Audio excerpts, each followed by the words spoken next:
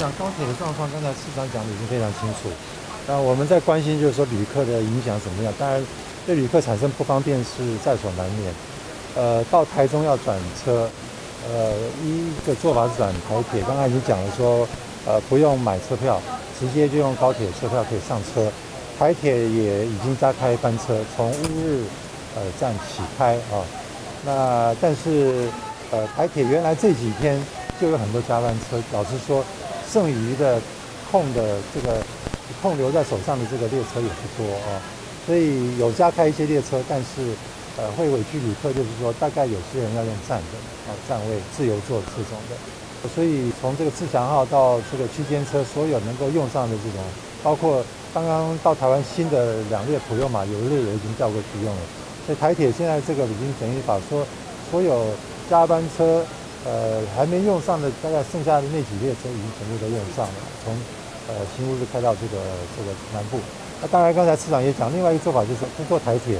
从台中有免费接驳车坐到这个台中的草马站，那边有国道客运啊，也可以。那另外一个做法就根本不要坐高铁下台中，在台北就转搭国道客运啊。那我刚才已经提醒这交通部，国道客运原来是每隔比如说十分十五分钟一班，现在是呃客满就开，客满就开，已经没有班次了，就是等于说有无限的加班次，所以上只要有乘客坐满一班就开，坐满一班就开。所以，如果不想在台中再转搭国道客运，其实台北就可以先转搭国道客运。